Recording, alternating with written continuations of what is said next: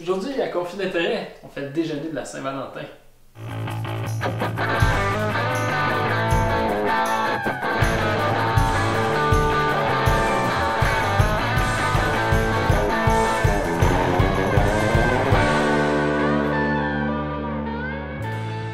Aujourd'hui, c'est la Saint-Valentin. Fait j'ai décidé de vous montrer mon secret pour la personne que vous aimez le plus au monde. Des petites crêpes fourrées, fromage à la crème italien, puis c'est vraiment bon.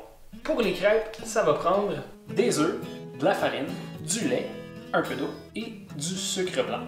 Pour la garniture, de la mascarpone, qui est le fameux fromage à la crème italien, un peu de sucre en poudre, un citron pour faire du zeste et des fraises ou n'importe quel petit fruit coupé en dés, en petits morceaux. Puis évidemment, comme à chaque fois qu'on fait des crêpes, ça va nous prendre un peu de beurre. Pour les quantités de tous ces beaux ingrédients-là, vous allez visiter le confitdintérêt.ca.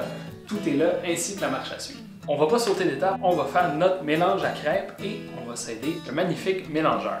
On va casser là-dedans trois œufs. Ensuite, le lait, notre eau, notre sucre, la farine, et juste euh, quelques grains de sel là-dedans.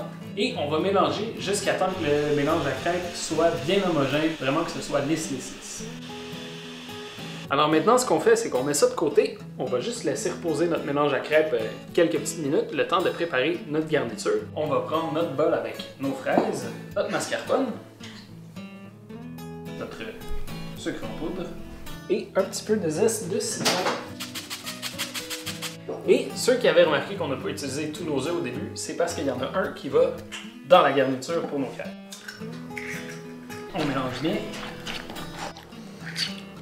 On peut maintenant faire cuire nos crêpes. Dans une poêle sur un rond à feu moyen, moyen élevé, on va venir faire fondre un peu de beurre. Donc, nos crêpes, on en met juste ce qu'il faut pour remplir le fond de notre poêle. On va laisser cuire ça juste le temps que le dessus de la crêpe soit assez sec. La crêpe a commencé à sécher sur le dessus. Quand on est certain qu'elle est bien cuite de bord en bord, on la réserve dans une assiette. Puis on va procéder comme ça jusqu'à temps qu'on n'ait plus de mélange à crêpes. On se revoit dans 5-10 minutes quand je vais avoir fini de faire mes crêpes. Et voilà, les crêpes sont toutes prêtes. Je pense que j'en ai fait environ 8, 8 euh, à 10 avec le mélange qu'on a préparé. Et maintenant, on est rendu à l'étape de les farcir. Alors, une par une, on va venir déposer environ deux cuillères à soupe à peu près de notre mélange. Donc, on le met pas tout à fait au centre de notre crêpe. La technique, par-dessus comme ça, on plie, on plie et on referme. Comme ça, on replie les côtés et on referme. Ce qu'il nous reste à faire, c'est de venir faire dorer nos petites poches de fromage à la crème dans une poêle avec un peu de beurre. On retourne à notre surface de cuisson. On met encore une fois un peu de beurre dans une poêle. Donc voilà, on y va. On met nos crêpes dans le beurre. On va les laisser cuire euh, juste le temps qu'elles soient bien dorées des deux côtés. Donc on va les retourner. Environ deux minutes à peu près de cuisson chaque côté. Quand ça fait deux minutes qu'elles sont d'un côté dans le beurre, on va les prendre une par une et on va les retourner en étant prudent, parce qu'on ne veut pas les faire exploser. Une fois qu'elles vont avoir passé un autre petit deux minutes de ce côté-là dans la poêle, il reste juste une étape, et je vous promets, c'est la dernière. On va les mettre dans un plat qui va au four et on va les enfourner pendant 10 minutes à 325. Deux minutes plus tard, on les prend une par une, en étant toujours très prudent. Maintenant, une fois que c'est fait, on met ça au four une dizaine de minutes à 325.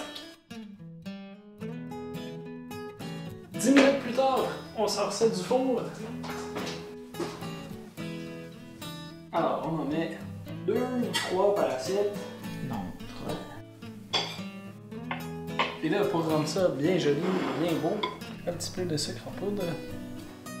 Et puis, on a aussi gardé un petit peu de liquide de notre fameuse confiture de fraises ou de framboises. Vous irez voir ça sur notre site internet. Et voilà, maintenant que c'est prêt, la meilleure chose à faire en fait avec ça, c'est évidemment un petit déjeuner au lit. Bon, là, ici, euh, c'est sûr que l'effet de surprise est un petit peu gâché parce qu'il y a la personne pour qui j'ai fait ça derrière la caméra. Mais bon, moi je veux dire bon appétit, joyeuse Saint-Valentin, puis on se revoit très bientôt. Marita.